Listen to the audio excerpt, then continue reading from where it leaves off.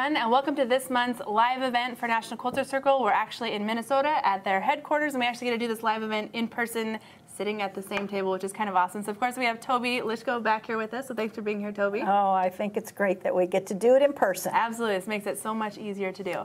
So of course, uh, a lot of you know that we have a challenge going on right now, and so we want to first off talk a little bit about the challenge and kind of show you how to get to some of the information um, on the challenge because that's a question that we're getting a lot. Um, so when you go to the website or you go to the Facebook page to sign up and you get to the page that we're going to show you here where you actually get to enter in your email address, you're going to do that right here. So you can see I've entered in mine. And then you're just going to click join for free. And so that's going to take you to a split screen page. So this is sort of where I think some people are getting a little mixed up on where you need to go next. But over here, so you've officially joined the challenge and it tells you what your next steps are. So the next step is actually you can join the Facebook group page. So this is a Facebook group page specifically for the challenge. Uh, you can post pictures, see pictures of other quilts that uh, people are making, the blocks. It's a really uh, fun way to interact with everybody doing the challenge, right? Mm -hmm. um, and then the next thing you can do is download the fabric requirements. You can actually click here to download uh, the fabric requirements. And so that is uh, the first thing you're going to need to know uh, in terms of making this quilt is how much fabric you're going to need. So you can download that there. The other half of the screen, so everything over here, this is just an awesome uh, deal that you can take advantage of if you want to. The challenge is free. We just like to offer this to you in addition. So just know that that is uh, something that you can take advantage of, but that you don't have to do that. So that's all you need to do to uh, join the challenge is enter in your email, uh, join the Facebook group page, and of course download the fabric requirements. So I want to uh, tell you that if you have questions to uh, ask for Toby to go ahead and enter those in, but I want to get to one of the first questions here first because while we still have this computer here, a lot of you were asking where you can see finished pictures of both of the color options of the quilts. So that is on this page here. So this is actually nationalquiltercircle.com slash article slash fabric requirements. And you can see both of the color versions. So on the right hand side is the one that Toby has done. On the left hand side is the one that I have done with some optional applique. So that's where you can see both of them right next to each other. Decide what fabrics you want to use, what colors you want to use, and decide whether or not you want to do uh, any of the applique. So now that we have that out of the way, now we can get to answering all of your quilting questions that you have. And so our first one, this one comes in uh, from Dorothy, and she wants to know, do you prefer templates or cutting your own? Well, um, I'm. Uh, sometimes they call me the template queen because I do love making my own templates. Um, I think it's uh, when you're using templates, they're more accurate and um, so I have a lot of acrylic templates. But if I do a pattern where I don't have an acrylic template, I do, I will make my own with a heavy template plastic. Um, and it does make the piecing a little more accurate, especially when you have little corners cut off. And, uh, but if I'm just doing squares or trying rectangles or something like that, I will cut, I will cut my own fabric pieces. When you're making your own templates out of that template plastic, as I know a lot of people talk about uh, not wanting to cut through paper and things with a rotary cutter because it mm -hmm. dulls their mm -hmm. rotary cutter. Do you have a special rotary cutter for cutting out your template plastic? Do you use scissors? What do you do? I use a heavy duty scissors because they it works better with the scissors and I just I um, tape the uh, paper template on the back of my template plastic and then I cut around on the lines and that way I don't have to trace. I'm getting a real accurate template, so that's what I do. Perfect. All right, our next question here, this is from Gail, and she wants to know if we've ever tried using Mod Podge fabric glue or another kind of glue or plaster to attach the fabric applique. What are your thoughts on that? Well, you can use a glue, but you don't want to use, I don't know what even Mod Podge is made of what what's it, it's like a glue but like a coating at the same time oh, and it dries okay. really really stiff so I, okay. I, would not recommend no I wouldn't either. recommend it but the best thing to use for if you want to glue your fabric is uh, Elmer's school glue because it's washable it's uh, non-toxic and it comes right out once you uh, wash it. So uh, you can use like it on a stick, Elmer's glue on a stick, and um, you can just wipe it on the back of the fabric you're, you're using and stick it to the your main fabric and then uh, quilt around it, and then when you wash it, it's gone. Yes. I can't think of the brand right now, and you might be able to help me out with this, but it's a glue pin generally for English paper piecing, and it's a little pin, It's got a pink cap in it, and you can like twist it up. It's like a glue stick, but it's just a much finer uh, or smaller circumference, I guess. So you're putting less glue on your fabric at, at a time. Well, you can buy special glue tips for a glue Oh, yeah. bottle, and you can get these little micro tips that you can buy, and they just fit on the top of your regular glue bottle, and it only you can get a where you get one little dot that comes out at a time. Perfect. Do you ever pin your appliques? Uh, I don't do a whole lot of applique, but uh, occasionally, if it's a big piece, I'll pin it. But normally, I use I can I use freezer paper sometimes, and so I iron it. I put the freezer paper shiny side towards the fabric, and so then I can iron it onto the fabric, and then I can tear it out when I'm done. I only ask because I actually use the little teeny tiny applique pins, which is the only time I've ever used a non uh, extra fine silk pin. But they make little tiny, uh, short little pins that are meant for applique that make it so you don't have as much pin sticking out all over your your work. So applique pins work too. All right, Judy wants to know how do you square up a block? Well, um, there's a couple ways. Uh, one way is after you get the block done, if it's if it's pretty square, you really don't have to square it up. I mean, if you're using an accurate seam allowance and um, everything works out right, I, I don't take the time to square up my block. If it ends up being a little small, uh, sometimes I'll really uh, spray it well with water, and then I'll take an iron and I'll try and iron it so that it makes stretches just a little bit.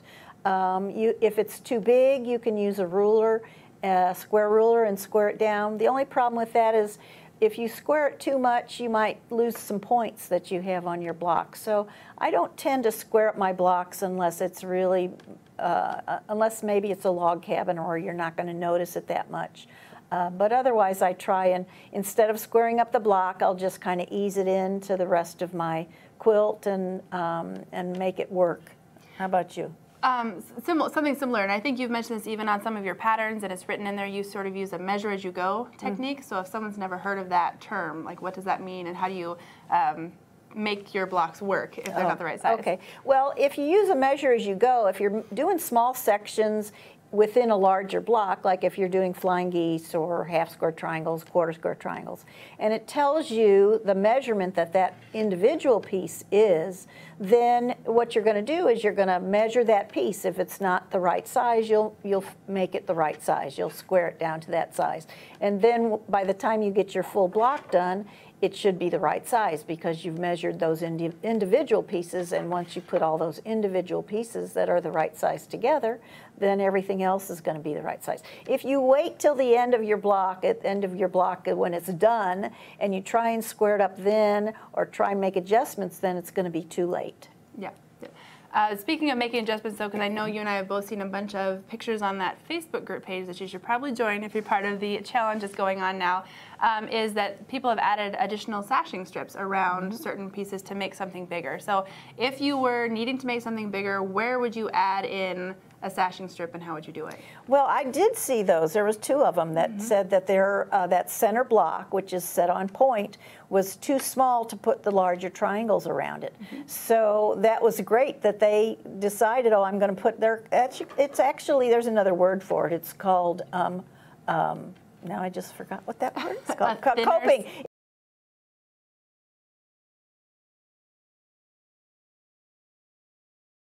is is to make it a little bigger than you need it to be, and then you can always cut it down to size. Because Yeah. if you try and just add a quarter of an inch extra and cut a three quarters in- inch strip, it might be too small still. So what I would do is I would cut an inch or an inch and a half strip, sew it around that block, and then cut it down to size. It makes it a lot easier to square off that way. Perfect. Well, speaking of uh, the center block being on point, that kind of goes into our next question here. Um, Gwen kind of has a two part question, but the first part is she is looking to learn methods for turning a block on point. Okay. Um, you know, I don't know what a method to turn it on point is, but um, your quilting patterns usually say that the pattern is on point or it's a straight setting. On point just means you you've got your block instead of a square block, it looks like a diamond, and then you have to determine uh, what your half square, your quarter square triangles are going to be on the outside of it to set it.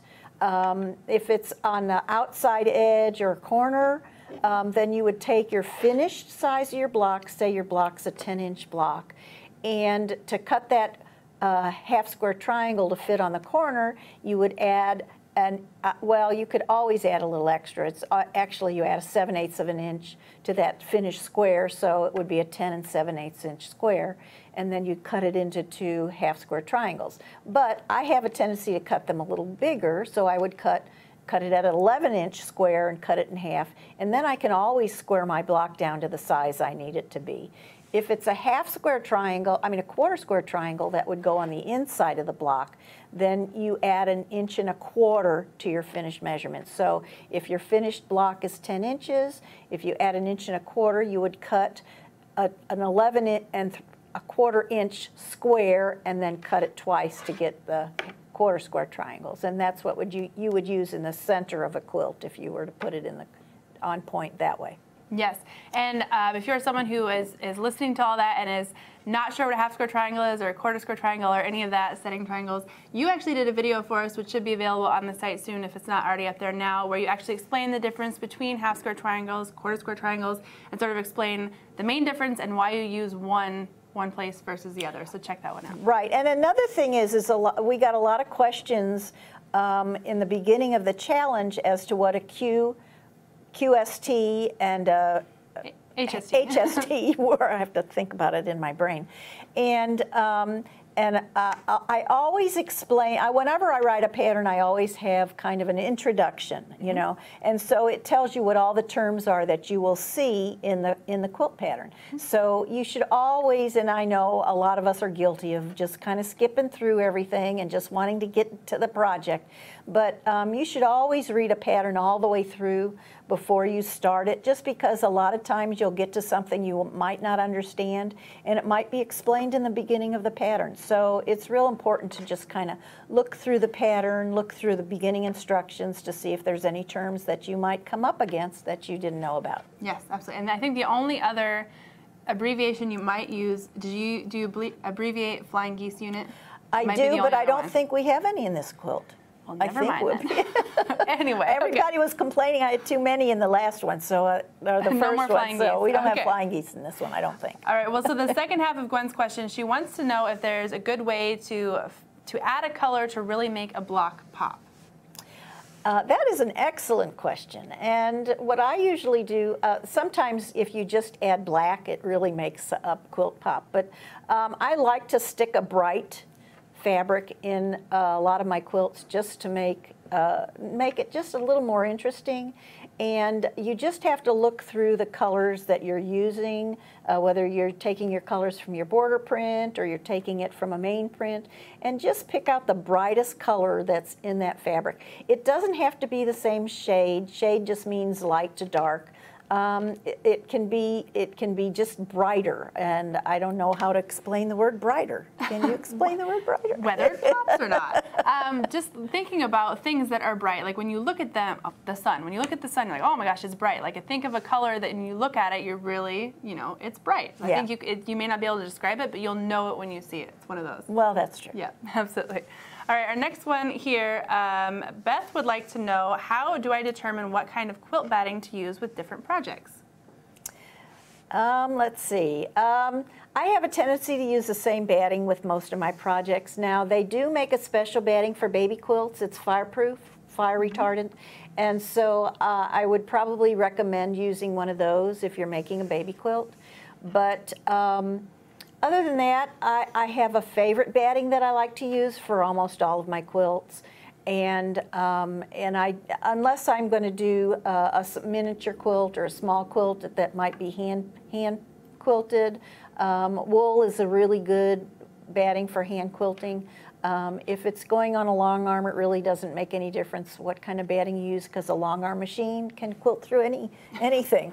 um, but um, it's just a matter of personal preference, what, what kind of width you like, whether you want it 100% cotton, whether you want it to be a blend or com uh, completely polyester. The polyester battings today aren't anything like the polyester battings that came out when I um, the, the polyester battings today are very soft, just like cotton batting. So Um, you just have to find which batting you like best, and sometimes you can touch samples in your local quilt shop or um, some of the other shops that carry battings and see which one you like feels better. Some of them wrinkle more than others when they're folded a lot, and some don't. So uh, you just kind of have to experiment with all the different kinds of battings you can get. Yeah, and a lot of too will come down to what you want your your because you can feel the batting, you know, obviously in the store, but then it's going to be in between the layers of your quilt, so you're not going to feel it when it's mm-hmm. on your quilt. But think of how it's going. Is it uh, really nice and does it drape easily? Is it going to look good on your bed? Is it going to be breathable? So those are some of the things you want to think about too if you are in a very hot environment. Maybe you want a really lightweight, like silk or bamboo, something very breathable right. batting right. versus right. wool. You know. Well, actually, that. wool batting is not heavy. Really? Yeah. I always think of wool as like wool sweaters keep you nice and warm. Yeah. Yeah, so but wool is it's a natural fiber, so it does breathe, and okay. you don't. It's yep.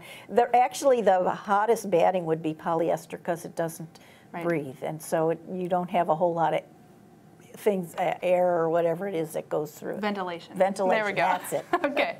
All right, next one here. Uh, Susan Ann says, I am making a farm scene quilt with many animals, a garden, barns, etc. that all stick out. How would you recommend that I quilt it? So hmm. think, how would you quilt something with a lot of intricate appliques? Um, that would probably be your. I didn't. I didn't quilt my quilt that has the appliques on it, or I would answer that one. But. Um, I mean, I don't do a whole lot of applique, but when I've done it, I usually just do echo quilting around it, or I'll do a grid work, you know, um, around it. Um, sometimes you can do these, what's called a, um, what is it, spiral, not spiral, it where you, you come from the center and goes out. Mm -hmm. rays, maybe that's what it's called, mm-hmm. rays. Mm -hmm. so there's all kinds of things. I don't put a whole lot of quilting within the applique itself unless it's a pretty big piece of applique. Okay. Every batting has uh, requirements as to how far apart you have to do the quilting. Right. So if you use a batting that you have, you can quilt eight inches apart and it still holds together, then you don't have to put a whole lot of quilting in it. Mm -hmm. But I will tend to do some, if it's a big piece, I'll tend to do some echo quilting or just kind of quilting around the edge. Uh, I, if it's a leaf, I might put a leaf design inside the leaf.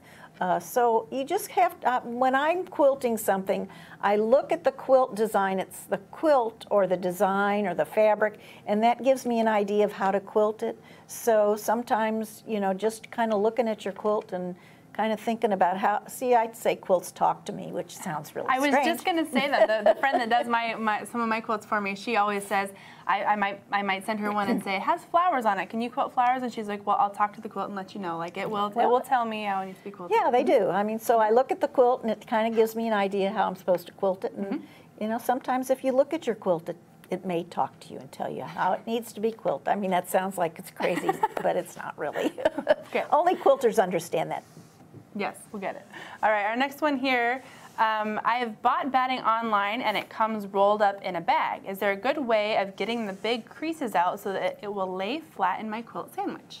Yes, the best thing to do is put it in a dryer and put it on air setting, just air setting, uh, or the lowest setting you have, and just tumble it for about 10 minutes and it should take all those wrinkles out of it. So I've always ever just pressed it. I mean, I guess it's a really big, I've never had a really big long wrinkle, but can you just iron your batting just like you would fabric? Well, I guess you could. Um, I've just never ironed batting. I mean, it just... Uh, Throwing new things out at you. Seeing yeah. if they're possible. I, I, guess you could if it's not too big of a, a crease, but if, if you've got a 90-inch wide batting, it'd be hard to take all those creases out. That's if true. it's a big, you know, king-size batting or queen-size batting, the easiest thing to do is just to throw it, unfold it, and then just throw it in the dryer for about 10 minutes. Perfect. All right, our next question here from Toba. What is the best way to begin quilting? I know the very basics of sewing, though to be honest, I have issues with straight lines. Oh. Well, if you know how to sew and you've sewed a seam, then you can sew basically a straight line. I mean, a lot of clothing have straight lines on them. So the only thing, uh, if you want to get into quilting, is to learn how to get that accurate quarter inch. Once you get that quarter inch down, um, you can make almost anything because everything has the has that quarter inch in it and you learn how to cut shapes and put those shapes together. Find a pattern that's a pretty easy pattern to start with, uh, something with just rectangles or squares and um, and then do that first, and then uh, each time try something a little harder. Take a lesson from a quilt shop um, if you have a quilt shop in the area. Um, National Quilter Circle has YouTube has uh, videos that you can watch to learn how to do some quilting. So, you know, there's a lot of ins- information out there to help you learn how to quilt. Absolutely. All right, our next one here, Eric Boyle says, it's his first time quilting. I want to finish the top somehow. Is there a good way to practice the stippling pattern freehand? Any patterns to maybe trace or learn with, maybe sew over the top of? Well, there are some fabrics. Actually, there are some backings that have the stippling on them, and you can follow the little lines on the backing of the fabric. So you could try that. Um, you could play with uh, little squares of fabric in your machine. Uh, when I first started learning to quilt, I started with the little square, and I just kept moving it around until I got something what I wanted. But it does take some practice. Um, I call it doodling with my long arm, I can doodle all I want. I can do an doodle an alphabet. I can doodle anything. I had my grandkids doodling on my long arm quilt, so um, quilting machine. So it's just a matter of practice and getting in, into a movement where you can do it. But I would start with something simple. You can do straight lines. You don't have to do stippling. Um, which is just meandering back and forth in a wiggy waggy way. That's a technical term right there. wiggy waggy. Yeah. But anyway, uh, yeah, I mean, you just have to start somewhere. Absolutely. All right, uh, Wenda wants to know, do you need to use the appliques in the quilt? And the quilt she's referring to is, of course, our challenge quilt that's going on right now, um, but do you have to use the appliques? No, you have the option of using appliques if you want to do one uh, or two blocks with appliques. If you don't want to do any applique at all, you don't have to do the applique. You've got the option of doing either. I've seen some quilts. Uh, I saw one recently on uh, the Facebook page where they did their own little applique in the center. So, I mean, you're not confined to doing what we have you doing. I mean, uh, we want you to be creative, do it in your own way. One lady did piece the center and then she put appliques in the little corners. So, Yeah. I mean, you can do whatever you want. It's your quilt. Be creative.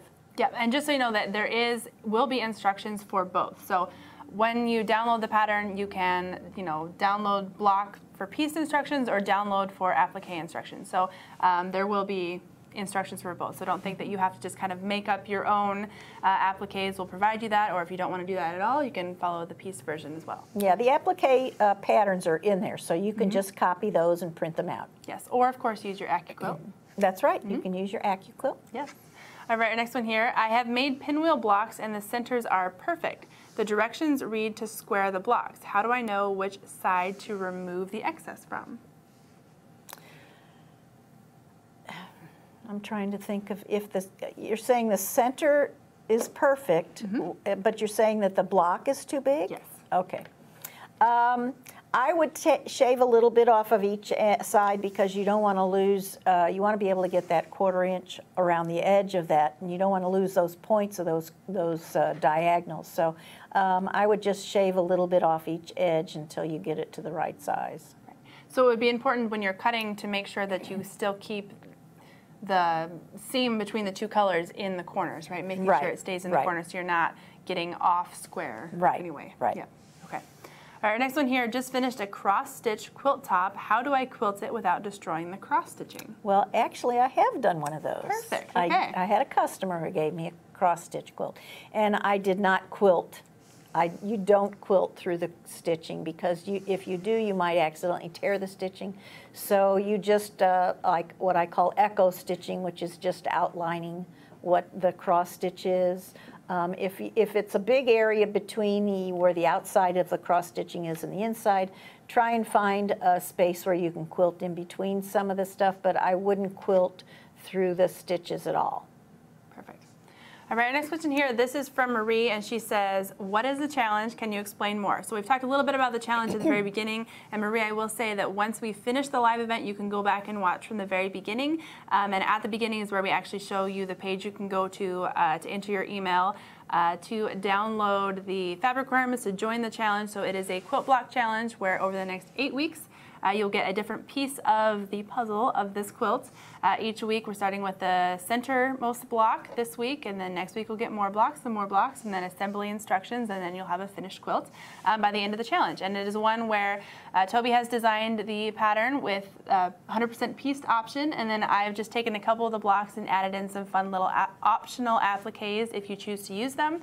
If you have an AccuQuilt, uh, who we worked with for this challenge, you can use that to not only cut out the pieces to piece the blocks, you can use those to cut out the shapes to applique, or you can just download the templates, trace them, and cut them out with scissors or rotary cutters and do that as well. So there's a bunch of options and this is actually uh, what both of the quilts look like. So the one on the right is the one that Toby did and the one on the left is my color scheme with some fun little appliques. So that is a, just a quick of what the challenge is, but of course once we're done, go back and watch those first couple minutes too if you want to see me actually entering in an email and all of that. So. The nice thing about the AccuQuilt is is that the corners of like the triangles are all cut off, mm -hmm. so it mm-hmm. makes everything match so much nicer. Yes. Plus, we've had a lot of people commenting on that Facebook group page that have the AccuQuilt that they really like using it because they either find they have issues with using a rotary cutter, they have hand issues, um, arthritis, things like that, and it's just a lot easier for them to use their AccuQuilt. So mm -hmm. it could be uh, something you want to invest in because of that as well. Right. So. And the thing that I had mentioned about using the AccuQuilt is, is when I write the written instructions for cutting the pieces, you have to cut them a certain size. But with the AccuQuilt, you have a square that's a die, so you have to cut your pieces according to what that die is. So if, if, you, if people who have Acu, AccuQuilts understand that. So they're not going to follow the general cutting instructions that um, I put in there for regular cutting. Right, and if you're thinking of just going and buying an AccuQuilt, that they will, it will also come with instructions and we can even do additional videos or of course AccuQuilt has some on their website of just here's how you use the AccuQuilt cutter mm -hmm. too. So perfect. All right, our next one here um, what do you think of fusible batting? I have, have I do not have a large area and aging knees don't want to kneel on the floor to baste it. Well, um, I have used fusible batting, and but I've only used them for small projects. They're very hard to iron on if you're doing it on a very big quilt. So, um, and you have to find a surface to be able to iron it on so that it lays flat. So I've done it for small wall quilts maybe a small lap quilt, but I, I have, I, it's hard to use it for anything bigger than that because it's just hard to find an area to iron on to get it to lay nice and flat because you want, you're ironing one layer at a time. You're ironing the whole top on and then you're going to iron the whole back on. So um, it is hard to do if you're doing uh, a large quilt. Mm -hmm. Perfect. All right, our next one here. Um, the question says, what is the best applique brand? Uh, someone was saying Pellon. It's very confusing. So that's not actually an applique brand, but can you explain Pellon, what that is? No, you, you no. do more applique. I'll so, let you do that. Pellon is just a brand of a fusible web, which is a double-sided fusible adhesive that you can use to stick your appliques on. Um, so we were talking in the, earlier in the beginning of different ways that you can hold your appliques in place using glue sticks, using um, you said freezer paper mm-hmm. sometimes. Mm -hmm. So this, this is just a way that you can fuse the fusible web. It will come with a paper on one side, a glue on the other side. You'll fuse the glue to the wrong side of your fabric, then you'll peel that paper off and then you can just fuse your shape right down onto the fabric that you want to applique in place.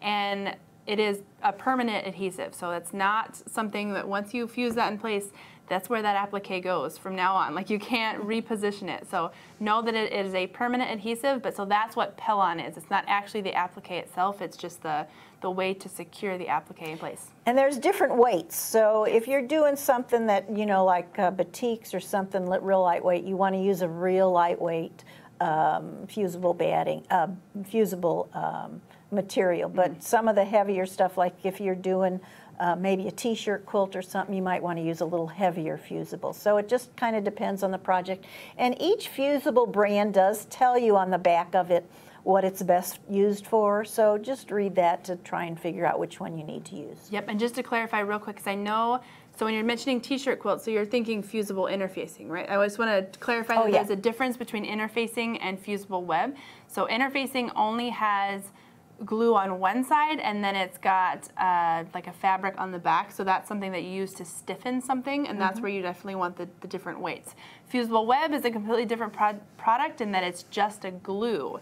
So you actually peel that off, and then all you're left with is glue. So they're a little bit different. Um, so yeah, one's a fusible web and one's a fusible interfacing. So just Oh. know that interfacing stiffens, fusible web sticks. We'll go with that. Oh, Well, That'll there, there is fusible um, interfacing that's fusible on both sides. then that's fusible web. Oh, okay. Yep. I think so. Oh man, we're gonna have to. We'll type something We're clarify all this. So many fusibles. We have to read up on that. Okay. All right. Our next question here. Um, so people are saying that they have joined the challenge but only got the oh only got the fabric choices but no list of the vocabulary of quilting terms that you were talking about. So you can explain um, where that was where you typed up what the half square triangles and quarter square triangles. Well, I thought it was on the same page. It's, you know, the fabric requirements are on the left, and then it goes into some diagrams on what a half square triangle is, what a quarter square triangle is.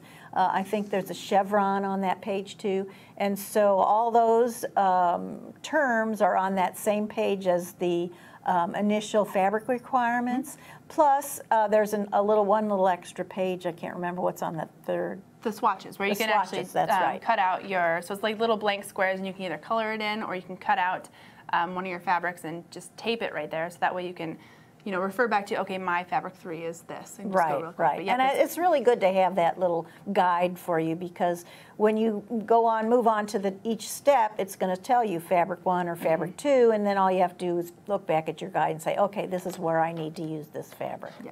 And speaking of that, since that is a question I've seen pop up a lot on the Facebook group page, is people want to know um, what colors, what what is your fabric number four? What is your fabric number one? And that is something that you have in the fabric requirements page. Um, you just have to you have to do a little comparison. So like she'll say. I forget. I'm not going to get the numbers wrong here, but your Well, I'll fabric say four fabric, is yeah, is- pink is or what, white you know. or whatever, yeah. So and then you have to just compare back, and then you can figure out if you want your color placement to be exactly like Right, yours. right. Yep. And so you can also look at the quilt to see where it's, where it is in the quilt so that you'll know when you choose your own fabrics, Mm-hmm. you'll think about where it, where it is best. Now, you know, my light background is um, my light background. So, you know, I mean, if you want a light background or a dark background, that's kind of an e- one of the easier ones to kind of figure out. But the rest of them, you have to think about the contrast and where you want to put those fabrics. Yes, and speaking of your background, because I've even got this question a couple times emailed to me, uh, your background is a tone on tone. So what is that? A tone on tone just means uh, if, if it uh, has, it might have a pattern in it, and the pattern would be, um, say it's a, oh no, a wiggle or some kind of funny line or something in it, but that line is similar to the background color. So say it's a white on white. So it has a little white design, but it's embossed in white. So that's a tone on tone. Or it's uh, brown and it has tan lines through it. Um, that's a tone, tone on tone. So it just gives you one tone of the fabric, which is uh, a different uh, color in the same family, or it might be, it's just something that blends in together. So it's usually called a blender or tone on tone. Um, it's not a solid because a solid would be just one color, but it just does have some little pattern on it, and it might be a similar color to the main color in the fabric. Yes, perfect. All right, our next one here, uh, Rosanna says, hello from Argentina. As a new quilter, what kind of quilt can I make first? Um, I always tell people the best quilt to make first is called a rail fence. And basically, it's you're just sewing a whole bunch of strips together. It can be two or three or four strips together, and then you cut them into squares. So, say you sew uh, four two and two and a half inch strips together, and that makes an eight and a half inch uh, set. Okay, I would cut them into eight and a half inch squares, and then you can rotate them and, and do different things with them. That's probably the easiest. If, if they're not all the same size, you can always trim them down to be the same size. You don't have to worry about matching seams, and that's probably one of the, that's, I think that's the very first quilt that I made. Uh, so that's the, the, I think the easiest one to make. Yeah, and if you want a visual of what a rail fence look like, looks like, we have something similar on the site. I don't think we call it a rail fence. Um, one of our other instructors just did a fun video on how you can put together, I'm going to call it a faux rail fence, uh, using some jelly rolls. So those are just two and a half inch strips of fabric. Obviously, you don't have to use those strips of fabric, but you can get an idea of how you just put those strips together and kind of measure and rearrange as you go. So that is a video that you can watch if you want a visual on the rail fence. Uh, Laura wants to know any idea uh, when all the fabrics will be sent out. So, oh, my, my, oh. Yeah, so just touch on that, uh, okay. about real quick. Now, I have done some kits uh, with some of the fabrics, and so uh, I did send out the main fabric that's used in the big quilt. I did send those fabrics out. Um, the only one that's uh, behind schedule is the batik group because I ran out of uh, the main fabric in there and I was able to find it. I emailed saying I wasn't able to find it, but I was able to find it. But since I'm out of town, I don't know if it's come in yet or not, but I know it had been shipped. So as soon as I get back in town, which will be on uh, tomorrow, um, on Thursday, I should be able to send out the rest of the kits and you should all have them uh, by the beginning of next week say that's our fault. We stole you away so we could get some more quilting content and quilting knowledge from you. All right, our next one here. I plan to make a Mickey Mouse quilt out of Mickey heads. I want to applique them on square fabric, and what would be a good zigzag stitch width and length to use around all of the Mickey heads on the square fabric? Uh, so you want to, what you're saying is you want to machine applique these down. Is yes. that what she's saying? Yep. Okay. Um, you know, it's all a matter of what you want it to look like. I mean, you could put it, put them close together. You can make it almost a satin stitch. You could, uh, you know, I mean, it, it just depends. What I usually do before, if I do machine applique, is I will take a test fabric, I'll take a little patch and I'll play with the different size zigzags, whether I make it wider or thinner or, you know, further apart, closer together.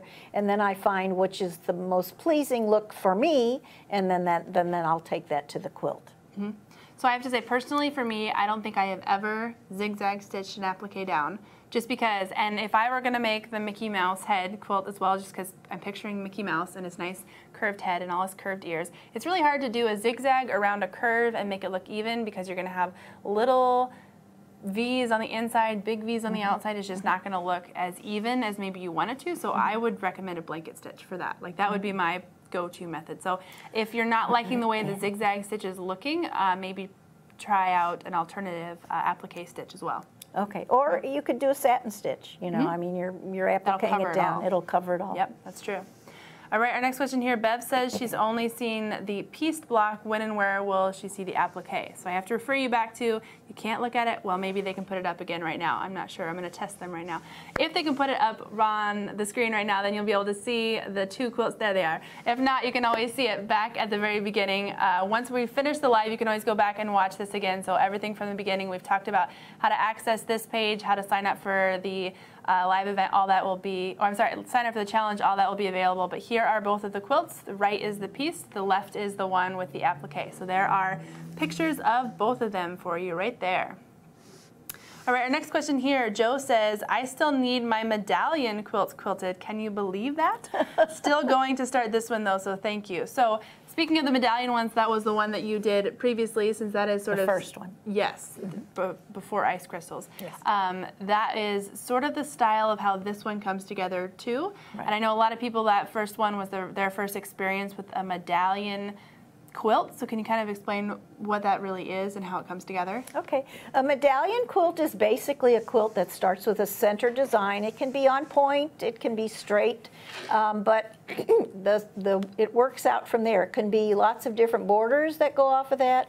So, uh, you can do plain borders, you can put blocked, uh, piece blocks around it. So just like the first one, we have uh, we have that center unit, which is what you're working on right now, and then it'll work from there. So it may be a pieced border from there, it may be a, a single border. So um, you just have to kind of follow. And usually with a medallion quilt, you get your instructions on how to put it together all at the end. So you're piecing, you're learning to piece each individual part of that quilt, and then um, at the end, you're going to put it all together.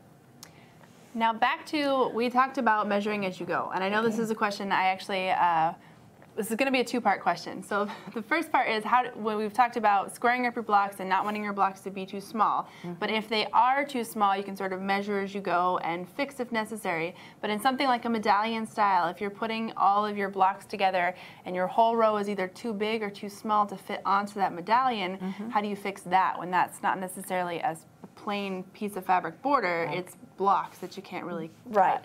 And well, I mean, I always say when after you finish your centerpiece, Um, Of course, you want to measure it and make sure it's the measurement that the pattern calls for. Um, uh, Once you start piecing those blocks, if you're sewing blocks around that centerpiece, um, what I do is I do measure as I go. So say I put two blocks together, and all of these blocks are eight-inch finished blocks. So I've put two blocks together, so now I should have 16 and a half inches. I put three blocks together, I should have 24 and a half inch, or 18 and a half inches, eight, 24 and a half inches. We're doing mental math here. All Mental right. math, okay. So I do measure them for a while, and then if I know it's going okay, then I'll finish, go ahead and finish that whole border. Now, if it still doesn't end up being the right size, I have done this, where I've either taken uh, some of the uh, seams out and making them smaller, or I've made them a little bigger so that it fits. So you can make adjustments after you piece this whole border as long as you either take seams out, you figure out whether it's too big or too small, and you can make adjustments that way by just uh, fixing your seams. If you do that, you have to make a little adjustment with each every other seam or a few seams, but you have to do it evenly across that border strip. So um, so like if mine was too big, I'd take in uh, maybe every other seam until I get to the right measurement. Perfect. All right, our next one here. Um, Terry says it's hot and humid in Sarasota, Florida.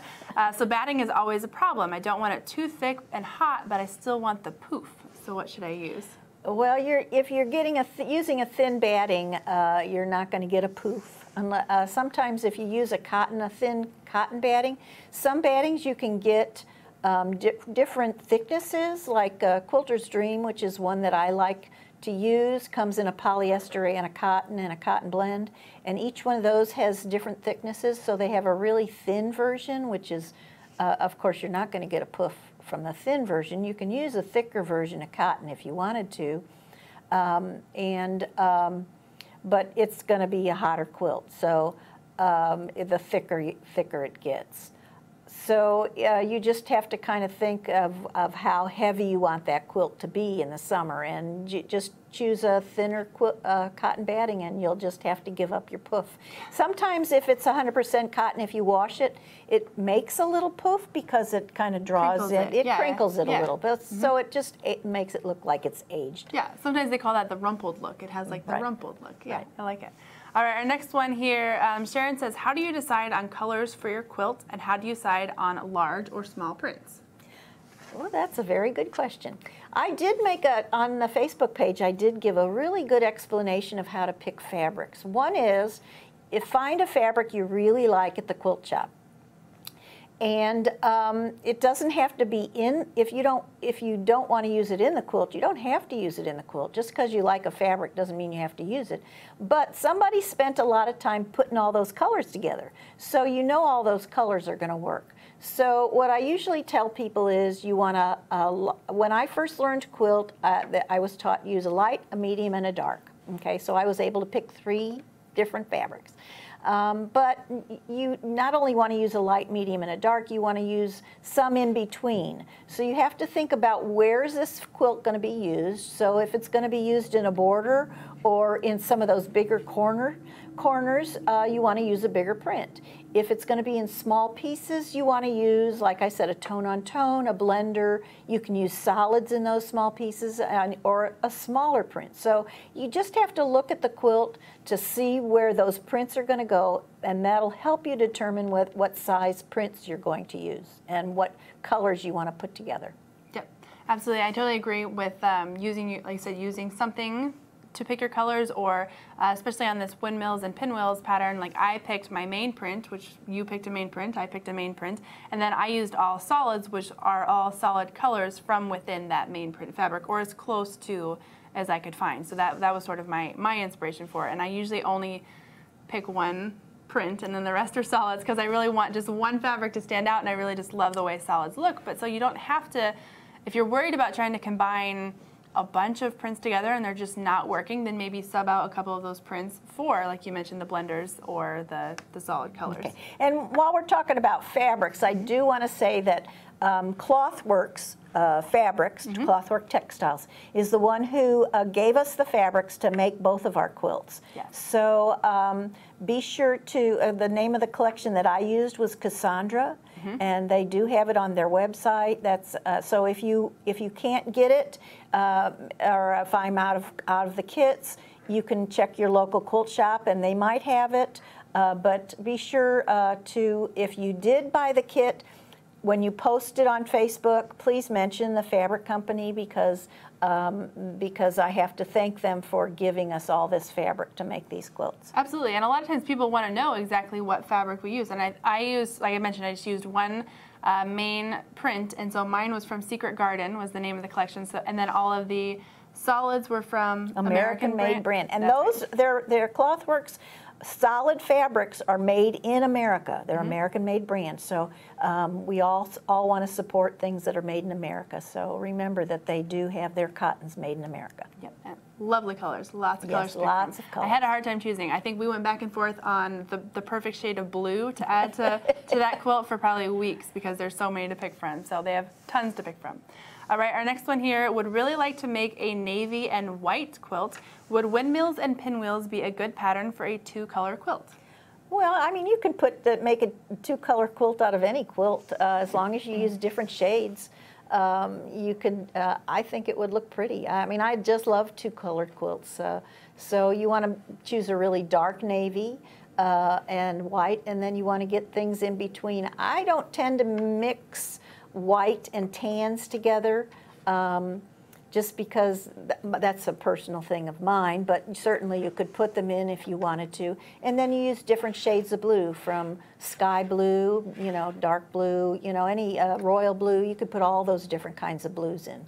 Uh, so yeah, I think it would be okay. I mean, it, Well, I was- I was more the one this- that does solids. So, So I was gonna say I'm gonna word this question differently then because our heads went in different directions.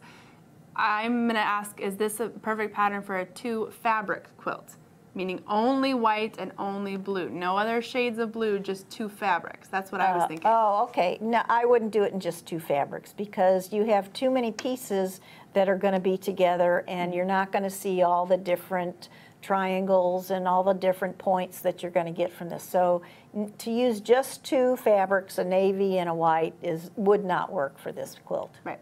I think in general, it's a good idea to use as close. I mean, sub it sub it out if you have to, but like as close to as many fabrics as are in the requirements. You know, if it calls for seven, use seven. If you have to use six and kind of fudge one somewhere, you can, but Right. try and use as many. Otherwise, like you said, you're going to lose some of the design element of the actual quilt. There's no reason to piece together two pieces of the same color right next to each other unless Right. you know you're going to Right. Not gonna see It, it. it'll lose that design. But um, the other thing is, is I lost my train of thought. Okay, well, when it comes back around, um, we will catch back after that. But our next question here, Janice wants to know why does cheap fabric not last as long? Well, fabric is printed on what's called gray goods. It's G R E I G H. You would think it's not pronounced gray, but it is called gray goods. And that's basically your muslin, okay, your muslin fabric. And you all, if you've been to a quilt shop or Joann's or any other fabric shop, you know that there's different grades of muslin. There's muslin that has prints that are, that has um, threads that, that are far apart, you know, and it has to do with thread count. How many threads that are there in an inch? And the better quality fabrics have a closer, uh, have a larger thread count. Am I getting that backwards? Yes. Um, so, in other words, the the threads are closer together. And um, really good quilt shop fabric is is printed on very good quality gray goods. The cheaper fabrics are printed on cheaper gray goods. Some of those are not color fast. Um, the good quality uh, fabric you'll find in the quilt shop are almost always color fast except for batiks, which because they're dyed, hand dyed, they're, um, they do bleed. Uh, so whatever you put in your quilt, if you want it to be uh, a, an heirloom, then you are going to want to use, pay a little extra, and you are going to want to use good quality fabric. If it's uh, a charity quilt, um, you can certainly use uh, something a little less expensive because you know it's going to be washed a lot, and you know. So um, I would, uh, whatever you have to base it on whatever you're going to be making, uh, and the better quality fabric, the better it's going to stand up. I do a lecture where I show a quilt that I made that had two black fabrics in it. One that I bought in a cheap, uh, cheap uh, outlet store, and one that I bought in a quilt shop. And they were both black, and they'd been sitting in a window. And when I, uh, when I show it at lectures, I show that the quilt, uh, the fabric that was bought in the chain store, uh, faded. It's gray. But the fabric, that black fabric that I bought in a quilt shop is still black. So you get what you pay for. Mm -hmm. Absolutely, and I know that some people, a lot of people say, I mean, quilting can be sort of an expensive hobby because fabric can get expensive, especially if you're making large quilts. You have fabric, you have your rotary cutters, you have your rulers, you have all of this. But so if you're just getting into it, don't think that you have to, from your very first quilt, make it out of the top of the line fabric, especially if you're just practicing. Like I have lots of, we'll call it lesser quality fabric that I just use as my practice scraps, whether I want to practice a new block or practice just a fun quilting technique. So if you're just starting out and just practicing, get some of that uh, cheaper fabric so you aren't I don't want to say wasting money because you're obviously learning right. something, so it's not a waste of money. But you're not. You, you can save or you build your skills and then go get that really nice fabric and make something really, really nice. Right. And that's why I also tell people that before they make a block, do a test block mm -hmm. because you want to test your seam allowance, you want to test all kinds of things before. And so you aren't cutting into your good fabric uh, and finding out that you cut it wrong or whatever. So uh, make sure you make a test block. If you just make one test block when you first start out and it ends up being the right size, then you know the rest of them are going to be the right size. Right. But just make one test block, use some fabric that are scraps or something that you bought uh, somewhere else, and then after you get that uh, down, then you can cut into your good fabric. Mm -hmm. Absolutely. All right, our next question here, Tawana says, what about using metallic looking fabric in a quilt? I'm designing a bedroom of silver and white and gray with the accents of pink and aqua. Would it be wow. okay to use metallic fabric or thread? Well, I mean, metallic thread uh, is uh, when you quilt with it uh, metallic thread, it, it, does end up being real pretty, mm -hmm. uh, and it does stand out. I don't think it, it washes as nice. Um, it stands up as nice in the wash uh, if it's not going to be washed that much. Metallic fabric. Um, they make all kinds of different fabrics now, so you know it depends on how heavy that metallic fabric is. Um, there are some lamés, is it lamés that are a kind of metallic looking mm -hmm. um, that are very, they're more polyester, I guess they're made of. And you certainly can put, there's no rule that you can't use a fabric in a quilt. I mean, crazy quilts are made with all kinds of different fabrics, velvets and satines and cottons. And so you can put any kind of fabric in a quilt. You just have to think about how it's going to wear on a bed um, and if it's going to be washed or not washed. Um, so you have to look at instructions for those different kinds of fabrics to determine whether they would work well in a quilt.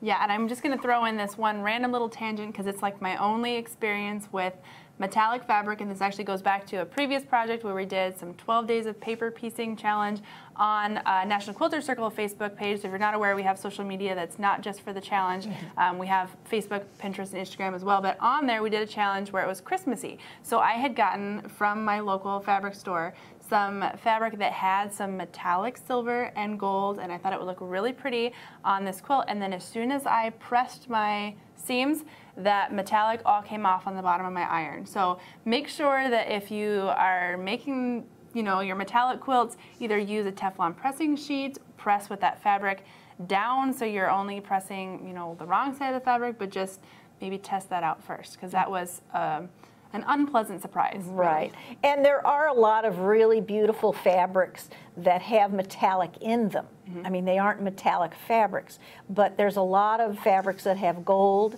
or silver in them that would work just as well. Yes, absolutely. All right, next one here. Toby, how did you get started in quilting design? Well, um, uh, how long do we have? Well, let's condense it just okay. a little bit. They'll condense it. Okay. Okay. Um, I've sewn uh, since I was 11. My mother was a home ec teacher. So um, in the summer of 1985, uh, my mother and I took a quilting class from Jackie Robinson, who owned a local quilt shop in St. Louis. And I kind of got hooked on making quilts. Of course, I was making them from patterns at the time. And then uh, played with making quilts for my house. And then uh, 1995, I worked in a quilt shop. And at that time, I started designing some of my own patterns and entering contests. So um, after that, I just started getting involved with magazines and fabric companies. And And then the rest is and- history. And, then we brought you over to us, and now we're getting you for all the challenges and all of your other videos and It, everything. it's patterns. just, I love designing quilts. I think it's just fun, and I love making my own designs. And um, when people like what I make, it makes me feel even better. Perfect. And I know you and I both use the the same kind of software. So what do you use? To, Mm. I use Electric Quilt, and um, I love it. it. I can make any kind of quilt I want to make on it, and I can put the actual fabrics in it because I can get the actual fabric scans, and it'll look exactly like uh, what I finish it as if I have to make it. So um, it's a wonderful quilt program. It's not that hard to learn. Um, I just tell people if they do get it, they have to practice at least 10 minutes a day, or they'll forget it all. I do agree with that. And I will just say, if you are thinking, oh, I don't know what a computer generated image of a quilt would look like, those two images of the quilts that we keep showing you, those are actually the images that we created using EQ. So that's what they would look like if you're you're using an EQ. You can print out and see exactly what your quilt's going to look like. Right, So- and and, adding in the appliques and everything. And I put a posted a picture of my finished quilt Mm-hmm. in there, and it looks exactly like that. Them- Now the teal might not look quite that same color, but uh, um, but it is the exact same fabrics. Yep, absolutely. All right, our next one here, it says, why do fabric companies cut jelly rolls with the fabric? They stretch when sewing together. I ruined a quilt this way. I used strips cut on the lengthwise grain and it turned out perfect. Okay, it depends on how you sew those strips together. Now, sometimes when you sew strips together, they tell you to um, alternate the directions that you're sewing in. And I would tend, if it, if it does stretch, I would tend to pin it. Because when you don't pin it, um, then they're all going to stretch and they're going to all be different sizes. So if you are sewing strips together and you're sewing a whole lot of them, uh, I was with a quilter at a retreat and she did that and didn't realize when she went to square up, I, I don't know, there might have been 10 strips. And she said she even alternated it. And when she went to cut those strips up, it was uh, really off. It was uh, very warped. And it's because she didn't pin the strip.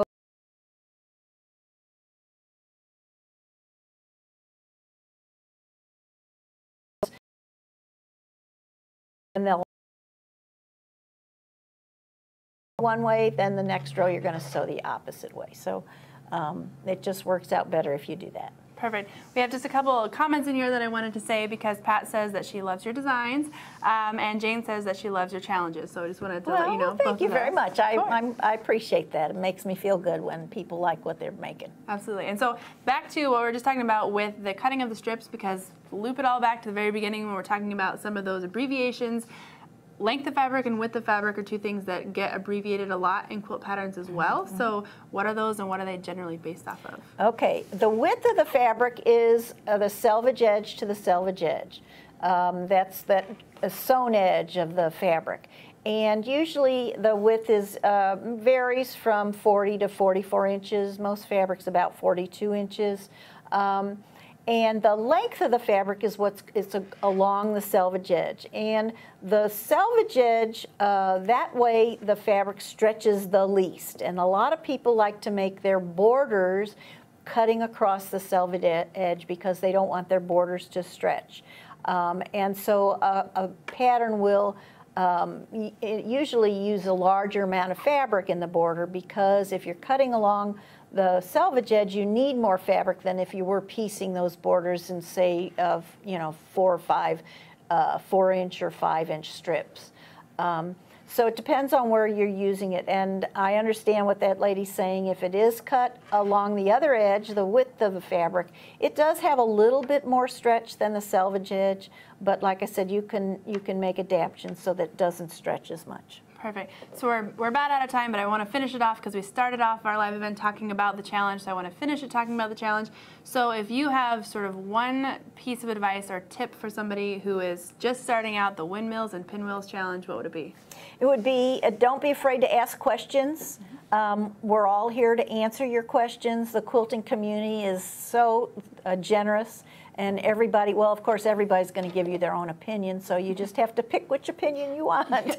but uh, yeah, just uh, take your time. This is not a rush. Those the pattern's going to be up for a while, so all you have to do is go back. If you're a week behind, it's not a big deal. I've got people who are just starting to, are just finishing up the first uh, mystery quilt that I did back in Long time ago. November. Yeah, yep. So, you know, just take your time, and if you have a question, ask the community. Absolutely, because there may be a bunch of different ways to do things too. So yes, different opinions, but also different methods and different ways to do things. So uh, between all of us, you're definitely going to figure out how to put yours together. Right, So- and video, and uh, Ashley's going to be doing videos. I don't know if she did one already. Mm-hmm. Not but- yet, because I've been here. Okay, and uh, I'm going to be doing a blog, and uh, since I've been out of town, I, my blog will go up this evening. So um, it'll explain the first part, and I'll give you some tips on how to do some things in that uh, first part. Yes, perfect. So of course, sign up for that challenge. Do that by entering in your email. Follow those steps like I, tips like I steps like I showed you at the beginning. there we go. Follow those steps like I showed you at the beginning.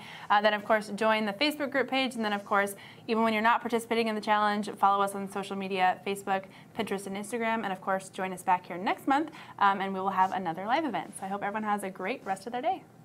Bye.